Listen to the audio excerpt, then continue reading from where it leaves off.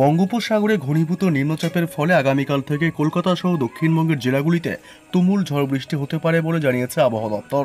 আবহাওয়া দপ্তর জানিয়েছে, নিম্নচাপের ফলে সমুদ্র উপকূলবর্তী জেলাগুলিতে ভারী বৃষ্টির সম্ভাবনা। মূলত পূর্ব ও পশ্চিম মেদিনীপুর, ঝাড়গ্রাম এবং উত্তর ও দক্ষিণ চব্বিশ পরগনায় অতি ভারী বৃষ্টি হতে পারে। পশ্চিম, মধ্য ও পূর্ব, মধ্য বঙ্গোপসাগরে তৈরি হওয়া ক্রমশ শক্তি বাড়িয়ে স্থলভাগের দিকে এগিয়ে আসছে নিম্নচাপ। নিম্নচাপের ফলে বাংলা, অন্ধ্রপ্রদেশ, উড়িষ্যায় অতি বৃষ্টির সম্ভাবনা। আলিপুর আবহাওয়া দপ্তর জানিয়েছে, নিম্নচাপ ক্রমশ শক্তি বাড়িয়ে ধেয়ে আসছে উপকূলের দিকে। এর ফলে আগামী মঙ্গলবার পর্যন্ত দক্ষিণবঙ্গের প্রায় প্রত্যেক জেলাতেই ভালো রকমের বৃষ্টি হবে। উপকূলের জেলাগুলিতে ভারী বৃষ্টির সম্ভাবনা রয়েছে বলেও জানিয়েছে আবহাওয়া দপ্তর। পশ্চিমবঙ্গের দুই উপকূলবর্তী জেলা পূর্ব মেদিনীপুর এবং দক্ষিণ চব্বিশ পরগনার সাথে সাথে পশ্চিম মেদিনীপুরেও ভারী বৃষ্টির সতর্কতা জারি করা হয়েছে। সোমবার ভারী বৃষ্টি হবে উপকূলের জেলাগুলিতে। সেক্ষেত্রে বারো থেকে তেরোই সেপ্টেম্বর দুই দিন ধরে কলকাতা, উত্তর চব্বিশ পরগনা, হাওড়া, হুগলি, ঝাড়গ্রাম এবং পূর্ব বর্ধমানে ভারী বৃষ্টিপাতের পূর্বাভাস।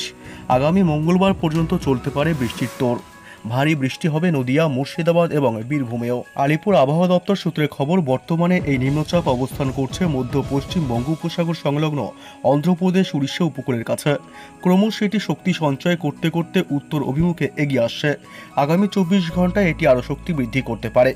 উপকূল অঞ্চলে প্রবল বেগে ঝোড়ো হাওয়া বয়ে যাওয়ার সম্ভাবনা। এর ফলে মঙ্গলবার পর্যন্ত মৎস্যজীবীদের সমুদ্রে নিষেধাজ্ঞা জারি করা হয়েছে। আগামী সপ্তাহে উত্তরবঙ্গে বৃষ্টি বাড়বে বলেই জানিয়েছে মৌসুম ভবন।